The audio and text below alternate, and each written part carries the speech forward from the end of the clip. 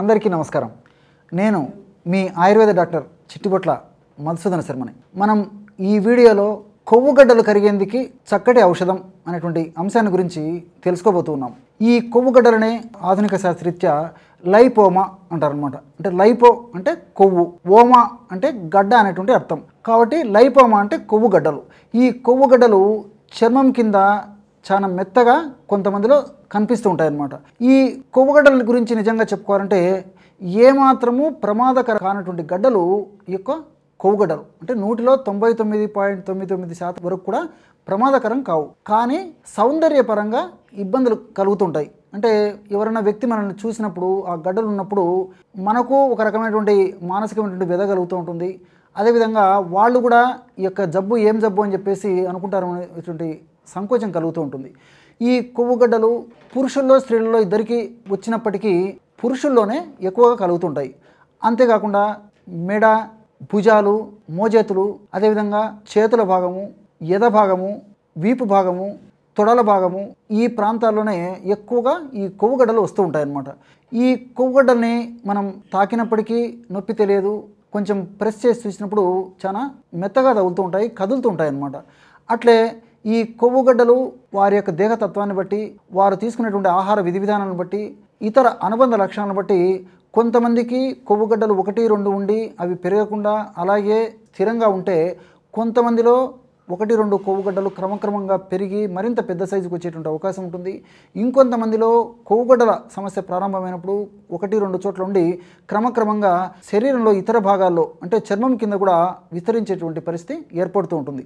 కాబట్టి ఈ కొవ్వుగడ్డలకు సంబంధించి ఇదమిద్దంగా ఈ వ్యక్తికి ఇలాంటి పరిస్థితిలోనే ఈ కొవ్వుగడ్డలు ఈ పద్ధతిలోనే ఉంటాయని చెప్పేదానికి కూడా అవకాశం లేదు. ముఖ్యంగా ఆహార పదార్థాల్లో కొవ్వు పదార్థాలు ఎక్కువగా వాడినప్పుడు లేదా పిండి పదార్థాలు ఎక్కువగా వాడినప్పుడు జీవ ప్రక్రియలో భాగంగా ఈ కొవ్వుగడ్డలు ఆ చర్మం కింద ఏర్పడుతూ ఉంటాయి. ఈ కొవ్వుగడ్డలు సమస్య ఎదురైనప్పుడు రోగులు కూడా మానసికంగా చాలా ఇబ్బంది పడుతూ ఉంటారు. మరి ఆ విధంగా ఇబ్బంది పడుతూ వైద్యుల వద్దకు వెళ్ళినప్పుడు వాళ్ళు కూడా మనోధైర్యాన్ని కల్పిస్తుంటారు ఏమి కాదండి మీరు ధైర్యంగా ఉండండి.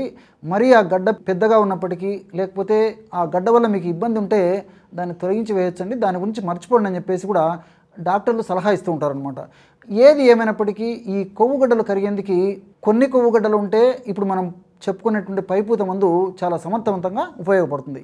కొవ్వుగడ్డలు ఎక్కువగా ఉండి సైజు ఎక్కువగా ఉండి మరి మరీ ఇబ్బందికరంగా ఉన్నటువంటి పరిస్థితుల్లో ఇప్పుడు చెప్పుకోబోయేటువంటి పైపూత మందుకు తోడు మరికొన్ని కడుపులో కూడా ఔషధాలు వాడుకోవాల్సి ఉంటుంది. గత కొన్ని వీడియోల్లో కూడా ఆ యొక్క వివరాలు కూడా నేను తెలియజేయడం జరిగింది. మరి అవసరమైనటువంటి వాళ్ళు మన అలాంటి వీడియోస్ చూస్తే స్పష్టమైనటువంటి అవగాహన ఉంటుంది కాబట్టి ఆ యొక్క ఔషధాలను సద్వినియోగం చేసుకొని ఆ సమస్య నుంచి బయటపడేందుకు మార్గం సుగమం అవుతుంది.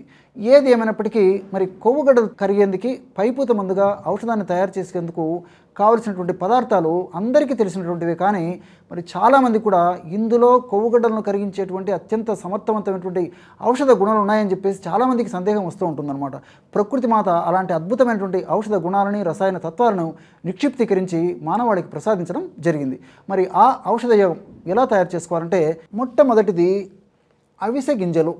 మనకందరికీ తెలిసినటువంటివి చూడండి ఫ్లాక్స్ సీడ్స్ అంటారు అనమాట ఇప్పుడు మనం చెప్పుకోబోయేటువంటి మూడు పదార్థాలు కూడా గ్రామ పట్టణ నగరాలతో నిమిత్తం లేకుండా ప్రతి చోట దొరుకుతుంటాయి అన్నమాట అవిసె గింజలు.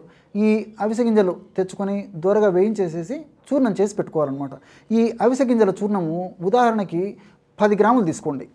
అంటే రెండు టీ స్పూన్లు. అట్లే రెండవ పదార్థంగా సైంధవ లవణం దీన్నే రాక్ సాల్ట్ అనేటువంటి పేరుతో పిలుస్తుంటారు అనమాట పూర్వకాలము మన పెద్దలు కూడా ఆహార పదార్థాల్లో వంట చేసేటువంటి పదార్థాలు కూడా ఈ సైంధవ వాడడం భారతీయ సంస్కృతి సంప్రదాయంలో ఒక భాగం. ఈ సైంధవలవణాన్ని కూడా గడ్డలు కరిగించేటువంటి అద్భుతమైనటువంటి ఔషధ గుణాలు ప్రకృతి నిక్షిప్తీకరించి మనకి ప్రసాదించడం జరిగింది. ఈ సైంధవలవణాన్ని కూడా మనం చూర్ణ రూపంలో వాడుకోవాలి.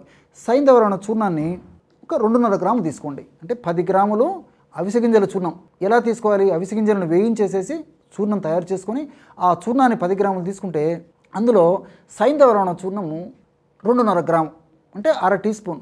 మూడవ పదార్థంగా పసుపు కొమ్ములు పసుపు కొమ్ములను దంచి చేసినటువంటి చూర్ణం తీసుకోవాలన్నమాట.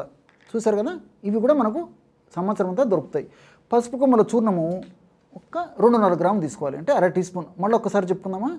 అవిసె గింజల చూర్ణం పది గ్రాములు సైంధవరణ చూర్ణం రెండున్నర గ్రాము పసుపు చూర్ణము రెండున్నర గ్రాము. ఈ పదార్థాలు అన్నిటిని బాగా కలిపేసేసి అంటే ఈ చూర్ణాలు అన్నిటిని బాగా కలిపేసేసి ఒక గాసీసాలో నిల్వ ఉంచుకొని మనకు కావలసినప్పుడు తగినంత చూర్ణంలో తగినన్ని నీరు చేర్చి బాగా కలపడం వల్ల బంకతో కూడినటువంటి పేస్ట్లా తయారైపోతుంది అనమాట ఎందుకంటే అవిసె గింజలు కలిసాయి కాబట్టి బంక గుణం ఉండడం చేత పేస్ట్ కూడా బాగా బంకలాగా తయారైపోతుంది అనమాట బంక గుణం ఉండడం చేత.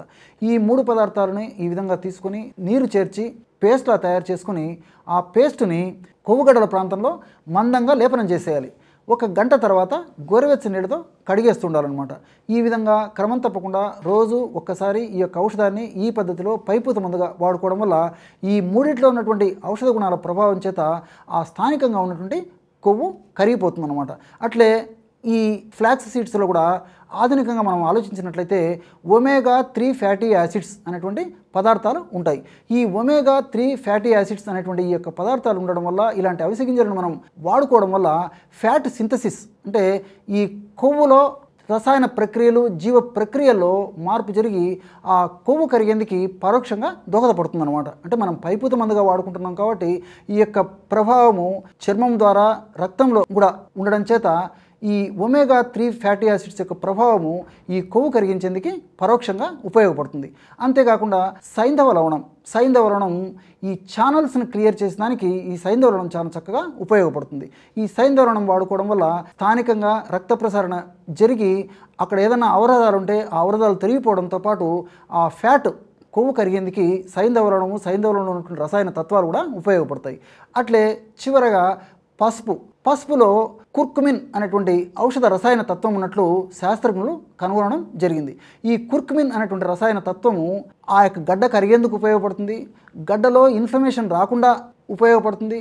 అదేవిధంగా గడ్డ వల్ల ఇతర ఉపద్రవాలు రాకుండా గడ్డ పెరగకుండా ఉండేందుకు కూడా ఈ విధంగా పలు విధాలుగా ఈ పసుపును వాడుతున్నాం కాబట్టి పసుపులో ఉన్నటువంటి కుర్కుమిన్ అనేటువంటి రసాయన పదార్థం ఉపయోగపడుతుంది. కాబట్టి అవిసె గింజలు సైంధవలనము పసుపు మూడు కలిపి మనం ఔషధాన్ని తయారు చేసుకుంటున్నాం కాబట్టి ఈ ఔషధము మరింత శీఘ్రంగా సమర్థవంతంగా చాలా త్వరగా పనిచేసేందుకు మార్గం సుగమం అవుతుంది. మరి ఈ సమస్య ఉన్నటువంటి వాళ్ళు మరి కొద్దిగా సమస్య ఉన్నప్పుడు కేవలం పైపూత మందు ఈ విధంగా వాడుకొని ఆ సమస్య నుంచి బయటపడవచ్చు. చూశారు కదా? ఎటువంటి చక్కనైనటువంటి ఔషధాన్ని కొవ్వుగడ్డలు కరిగేందుకు ఈ వీడియోలో తెలుసుకున్నారో. మరొక వీడియోలో మరొక అంశంతో మళ్ళీ కలుద్దాం. అంతవరకు నమస్కారం. మీ చిట్టిబొట్ల.